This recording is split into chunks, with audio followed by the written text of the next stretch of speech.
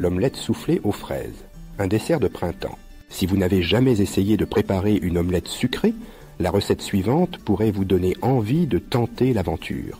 Ce dessert, qui se prépare avec seulement trois ingrédients, nécessite un batteur électrique et une bonne poêle anti-adhésive.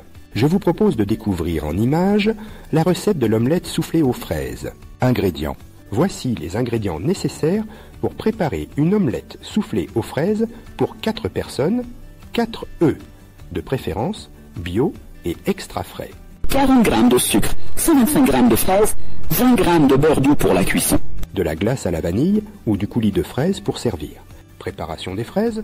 Pour garnir l'omelette soufflée aux fraises, il vous faut environ 125 g de fraises émincées. À noter, je vous conseille d'en acheter un peu plus et d'en garder pour décorer ce dessert avec de petites fraises entières ou des lamelles de fraises. 1. Lavez les fraises puis équeutez-les. 2. Coupez les fraises en 4 ou en 2 pour les plus petites. Réservez. Préparation des blancs en neige. Une omelette soufflée se distingue d'une omelette classique par l'utilisation de blancs en neige. 1. Séparez les blancs d'œufs des jaunes. 2. Placez les jaunes dans un grand saladier qui servira à préparer l'omelette soufflée. 3. Montez les blancs en neige au batteur électrique sans ajouter de sel. Préparation de l'omelette soufflée. Pour préparer l'omelette soufflée aux fraises, il ne vous reste plus qu'à assembler les différents ingrédients. 1.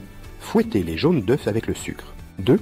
Incorporez délicatement les blancs en neige à l'aide d'une marise souple. 3. Ajoutez les 125 g de fraises coupées en quartiers et c'est tout. Cuisson de l'omelette soufflée aux fraises. La cuisson est l'étape la plus délicate de cette recette d'omelette soufflée aux fraises.